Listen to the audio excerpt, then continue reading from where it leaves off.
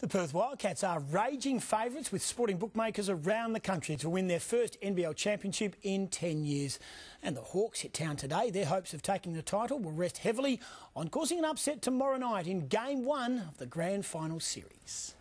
The enemy arrived, Wollongong touching down late this afternoon with high hopes of championship glory. For the Wildcats, the pre-game build-up involved a grand final breakfast with some basketball legends. We don't need to do anything different. We need to play Wildcat basketball, which is what Bevo's done all year. I think we're going to go all the way in two. I think you're going to see three hard fought games. There's going to be no 20 point blowouts like there were in the semi finals.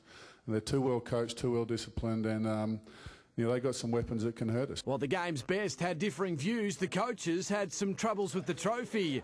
Whoever packed it may have thought these two teams didn't deserve to be fighting for the title. It's a bit surreal.